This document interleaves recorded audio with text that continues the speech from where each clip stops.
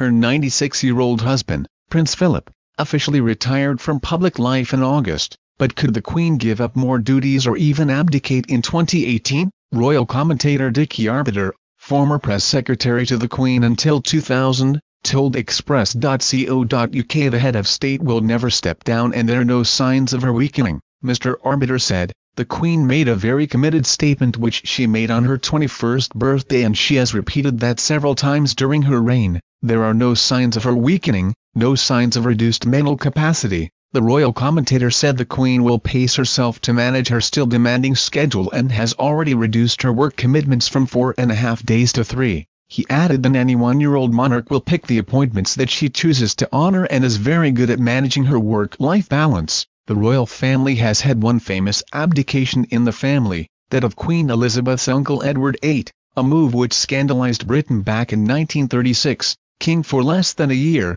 Edward VIII chose to give up his crown for love by marrying American divorcee Wallis Simpson, but Elizabeth II has never been under such similar pressures and has been happily married to Prince Philip for 70 years. She is therefore unlikely to be unaffected by her uncle's decision to abdicate, Mr. Arbiter told Express.co.uk. He said, the Queen believes in the monarchy, she believes in commitment to tradition and believes it creates stability. Unlike most pensioners enjoying their retirement, Elizabeth II is still working into her 90s, but with a gradual slowing down of duties, could she pass the responsibility of her annual speech on to another royal family member such as her son Prince Charles? Not according to Mr. Arbiter who told Express.co.uk, it is the only time of year that she can say that she wants to say not what other people want her to say. They are her words and she will continue to do that. The Queen's speech is watched by millions of people every year and has been read by Elizabeth II since 1952.